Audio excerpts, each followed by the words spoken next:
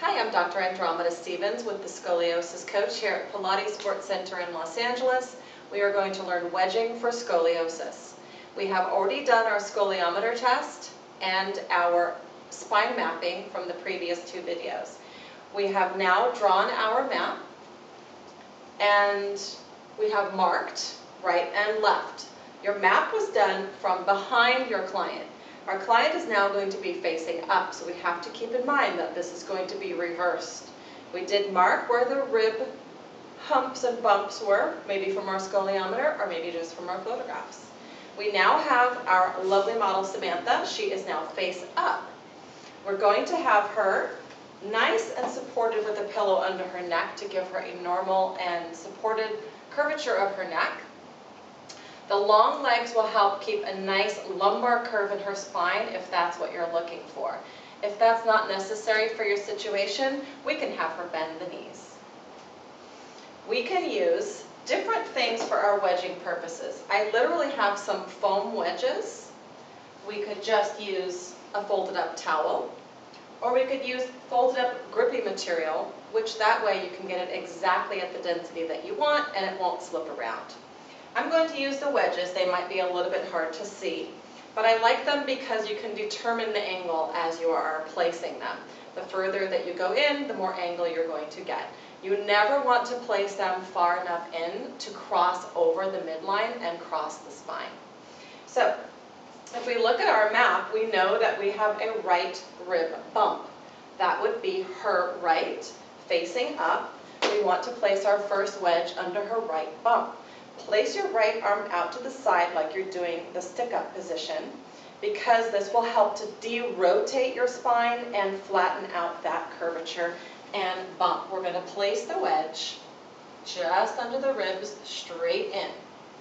Good. We might also notice that the client has unleveling of their shoulders and the right shoulder might have been sitting further forward. If that's the case, we need to wedge the other shoulder to bring it up so that they're level. That's going to be at approximately the shoulder joint.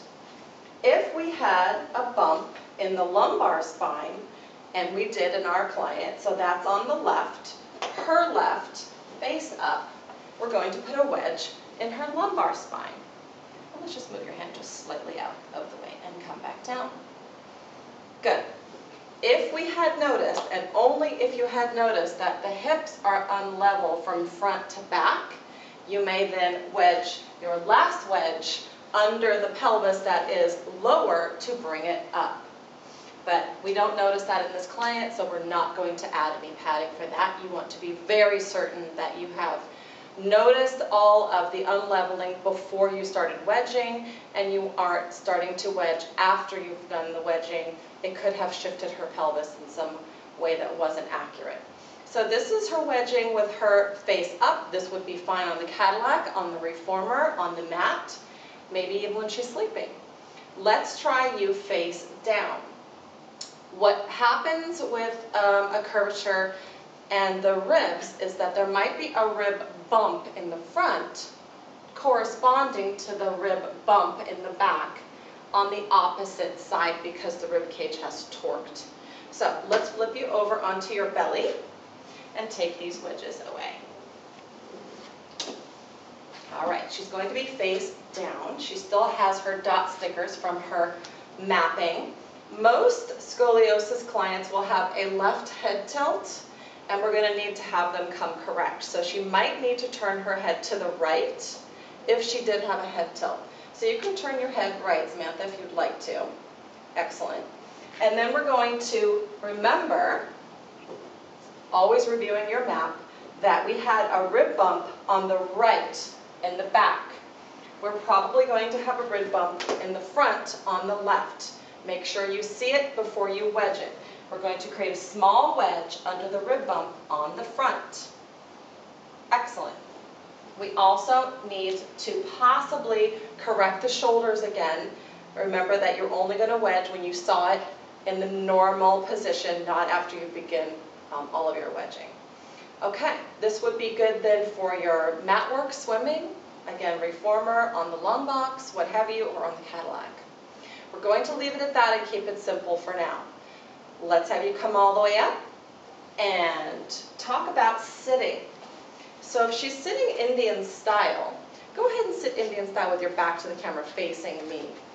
When you sit Indian style, the legs will cross one over the other, and that could create an unlevel pelvis.